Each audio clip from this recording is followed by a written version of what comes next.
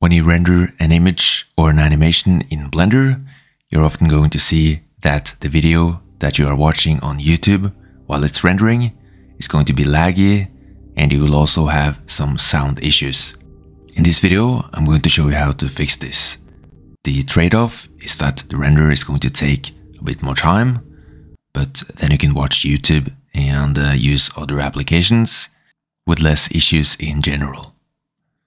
So what you need to do is to press Ctrl Alt Delete, go into the Task Manager, then Details, right click on Blender, and then set priority, and then set it to low. And then when we start a render in Blender, we're going to see that there will be no sound issues. And that is because the web browser has the priority over Blender which means that of course Blender is going to be a bit slower, but you can watch everything smoothly on YouTube for example.